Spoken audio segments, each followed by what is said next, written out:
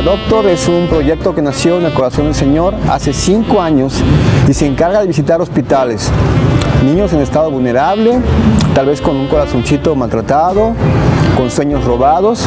Y nuestra misión es llevarles un mensaje de parte de Dios, pero también de aportarles un mensaje de esperanza, de alegría y sacarlos del estado que se encuentran, ¿verdad? Eh, no soy solo yo, eh, junto conmigo es un grupo de cerca de 13, 15 personas. No somos payasos profesionales, pero lo que sí tenemos es un corazón bien dispuesto a transmitir amor, esperanza y ir a esos lugares que a veces es, complicado que, pueda haber alegría, ¿verdad? Por el estado que se encuentran. Visitamos varios hospitales, eh, hemos estado en algunos estados de la República, en Ciudad de México, he estado en Jalapa, he estado en Puebla, he estado en Orizaba, estamos en Córdoba. Y bueno, agradecidos por el tiempo que nos dan ahorita de poder transmitirles un mensaje.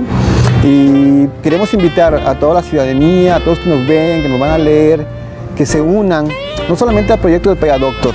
Si tú tienes la, invitación o puedes eh, la oportunidad de ir a un hospital, no te pierdas de esa maravillosa experiencia.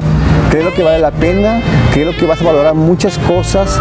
Eh, vas a decir, híjoles, de lo que me he perdido porque viene uno enriquecido. Uno a veces piensa que va a dar, pero no. Uno viene lleno y cargado de bendiciones. Así que si tú puedes eh, en estos días o en, el transcurso del año ir a un asilo, a una casa hogar, con niños de la calle, eh, te invito a que lo hagas.